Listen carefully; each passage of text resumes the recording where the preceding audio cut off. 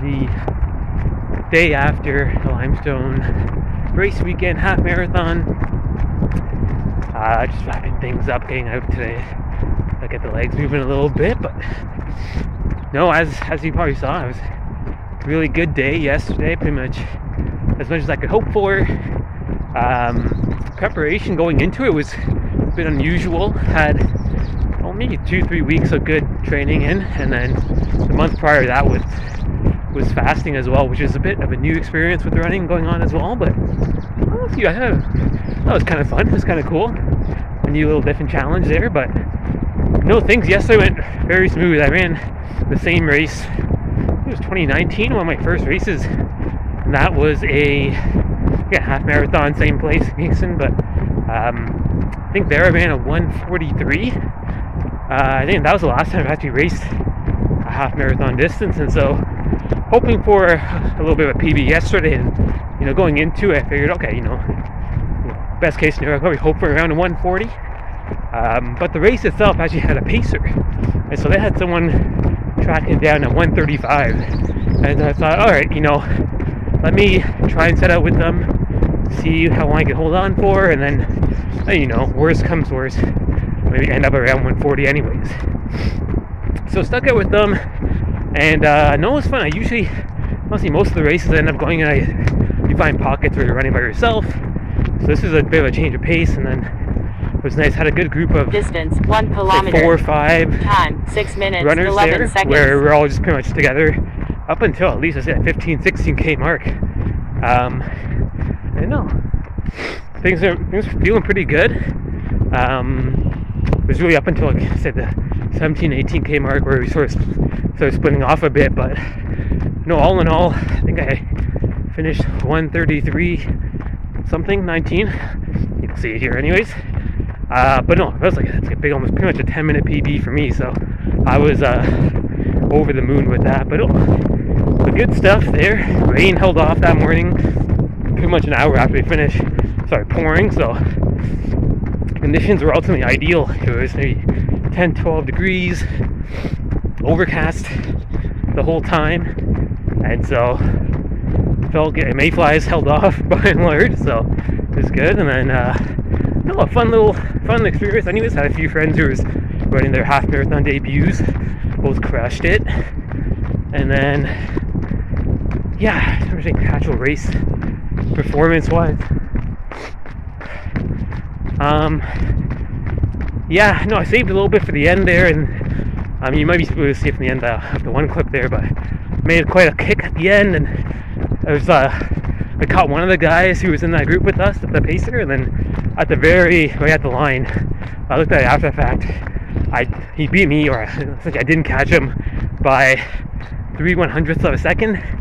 So that's gonna bother me, but no, I think that's something I've got to dial in is really when to kick on that last little bit of you know put the afterburners on there. I think I've usually got a little bit left, and so I think for this race I've already kicked them on around six, seven hundred meters left. I really started to gas it out, but based on what I can tell, I probably should have gone sooner.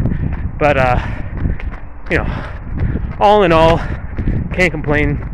I think about 250 people almost came up with the half marathon, but no, things are good. That's in the books. Um, I just gotta try and build off that. I think uh, if I can keep on the good sort of big pace trajectory I've been on, uh, got a couple other small. I think that's probably the, longest race or event I'll have all season or all summer. Um, but a couple other island races around around the area, so smaller, five, eight, 10k. So those will be enjoyable and fun. Um, work on some more speed stuff there, but just trying to clock my mileage. But no, recapping, good weekend. I think I was 31st overall, seventh in my age category, but just a big improvement from a few years back. So that's always a, it's always a, a positive sign. So happy to see that. But no, now I just got to string them along. The big, uh, big target is Chicago in October, weekend of Canadian Thanksgiving. So I'm lucky enough to have a bid there. So really, I just got to try and push, and I think I have definitely a potential for a bigger, much bigger PR in the marathon there. I ran Toronto last fall, not in the best shape, but finished in four hours and 18. So really hoping to shave off. If I can't close to an hour there, would be a big step forward. So that's the next plan. In the meantime, just more of this, living it up, living it up. Yeah, even from forgot to mention, lots of things could have gone wrong there. Coming into the weekend, drove from out of town the night before, getting my stuff ready. And what do you know? Headphones gone. That was that was a blow. That one hurt. No, it's the same headphones I used last couple years. So luckily, little sis had her AirPods, and those uh, I was a bit worried they might slip out, but no, that was one crisis averted.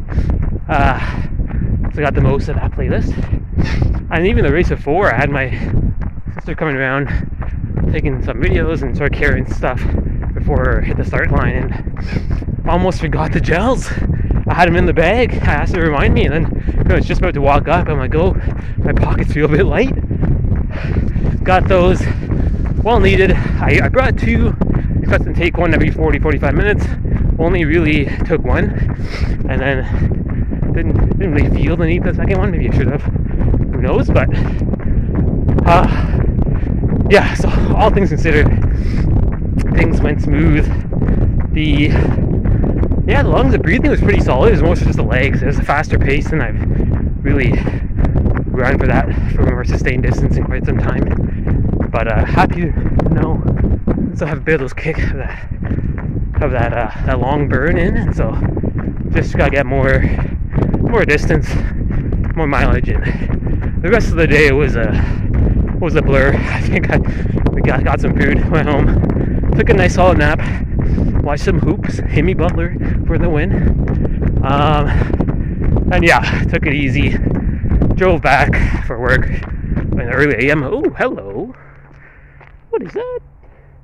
Wild turkey? Well, good thing it's time for me to turn around. Two and a half K in, so interesting. But no, can't complain. But yeah, that'll wrap it up. Yeah, good weekend. Yeah, hopefully warmer weather on the way, so get some some more stuff in. But till next time.